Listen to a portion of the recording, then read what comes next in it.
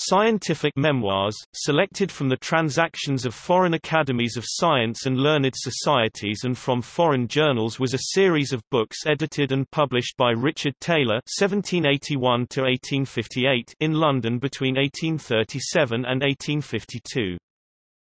After 1852 the publication continued in two series Natural Philosophy, edited by J. Tyndall and William Francis Natural History, edited by Arthur Henfrey and Thomas Henry Huxley. September 1843 edition contained Ada Lovelace's notes appended to her translation of Luigi Federico Menabrea's article, originally published in 1842 in French in the Swiss journal Bibliothèque Universelle de Genève, based on Charles Babbage's lectures on his analytical engine, given in Turin, Italy, in 1840. Some volumes have been reprinted by Johnson Reprint Corp.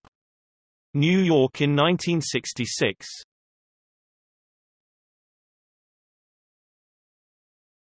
Topic. Further reading Richard Taylor, 1781–1858 at the Darwin Correspondence Online Database Niels Bohr Library Book Catalogue Scientific Memoirs, selected from the transactions of foreign academies of science, and from foreign journals. Natural History at WorldCat